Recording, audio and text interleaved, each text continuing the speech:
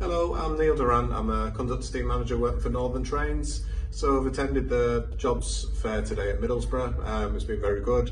Lots of people attended. We've got lots of people asking lots of questions about the different roles that we offer.